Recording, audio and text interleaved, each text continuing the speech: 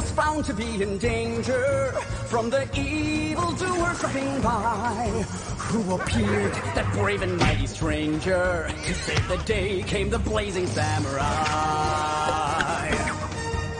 Sent by the shogun with arrows and blowgun, his nunchucks could poke out an eye. Trained in Bushido, the samurai's credo, he mastered Aikido, he really was legend with his sword a swinging, villains feared his fearsome battle cry. Conquered hate with justice he was bringing, he took a stand to save the land. Praise the blazing samurai!